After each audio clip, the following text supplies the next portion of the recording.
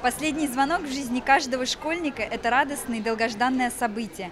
25 мая в Кировском районе в школе номер 397 прошел такой последний звонок. К этому дню все выпускники готовились заранее, выбирали платья и костюмы, делали прически. Поздравить выпускников пришла заместитель главы администрации Кировского района Ирина Бойцова. Я сегодня хочу сказать, что вы прошли большую серьезную школу, и школу жизни в том числе. Вместе с вами преподавательский коллектив гимназии тоже эту школу проходил.